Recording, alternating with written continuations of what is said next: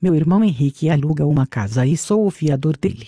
Só que agora ele está querendo alugar uma nova casa, onde o aluguel é muito caro. Se ele alugar, será que ainda sou obrigado a permanecer como fiador dele?